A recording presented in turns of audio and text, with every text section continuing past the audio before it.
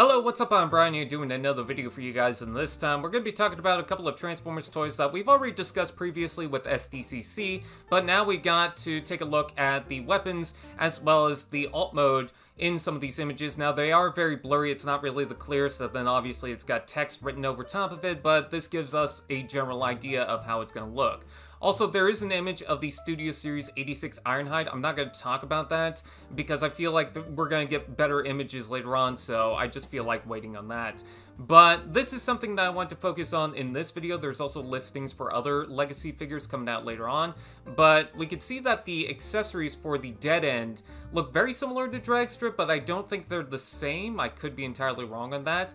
But he does have a very nice looking robot mode for the most part. I like this image more than the previous one that we saw, except for the back of the legs and how it kind of curves down. That's kind of weird. But the alt mode looks fantastic. It's very similar to a Porsche, which I do like. It's got the classic stripe on top. And then, of course, you can plug the guns on top. It looks very nice. I like the dark red color that they're using here. And then we take a look at Pointblank, and I gotta say that I'm really excited that it comes with the Targetmaster. It is very different compared to the Battle Masters that we've seen previously. This is going to be a much smaller version, which it's kind of weird that, okay, this guy comes with the Targetmaster, but Crosshairs didn't, which I get because, you know, Battle Masters were around, but Armada Starscream doesn't come with Swindle, despite the fact that Minicon ports are still a thing at this moment with the Cybertron Metroplex, apparently, and the Bulkhead.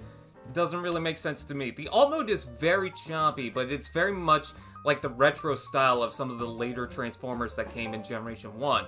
It's got the front end that kind of reminds me of Bisque, uh, from the Transformers Robots in Disguise line. I don't know, I just see similarities with that, with the sides protruding out. It looks kind of weird to me, and then you got that big windscreen that's very flat, and then also a very different color compared to the rest of the car. I'm sorry, I'm, I'm mumbling on my words, but anyways, it's a very different color and it looks kind of weird, but uh, I think it's fine for what it is. You know, it's Pointblank. It's, it's alright. I would like to see how clean or how weird the back would look because you can see the text is just written right over top of that.